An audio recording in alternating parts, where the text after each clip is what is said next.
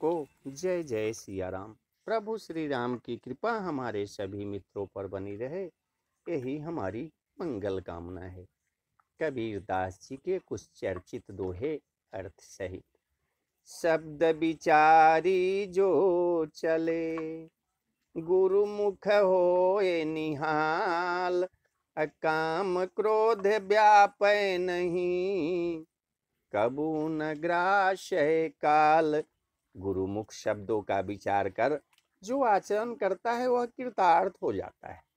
उसको काम क्रोध नहीं सताते और वह कभी मन कल्पनाओं के मुख में नहीं पड़ता। जब लगिया शरीर की, मेरे तक हुआ न जाए। काया माया मन तजे, चौरे रहा बजाए। जब तक शरीर की आशा और आसक्ति है, तब तक कोई मन को मिटा नहीं सकता।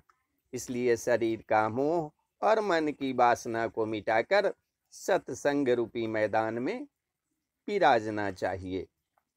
मन को मेरे तक देखी के मति माने विश्वास, साधु तहाँ लो भय करे।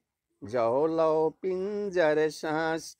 मन को मृतक देखकर यह विश्वास न करो कि वह अब धोखा नहीं होगा।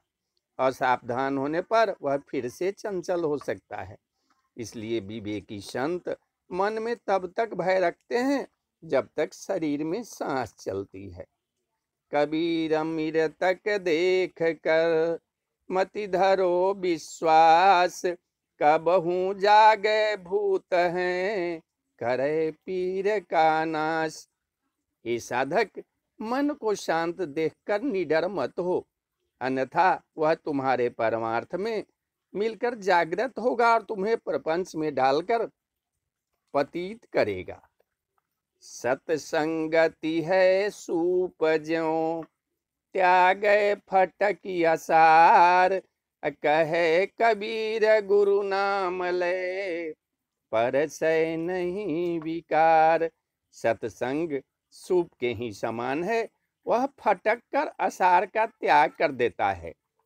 तुम भी गुरु से ज्ञान लो।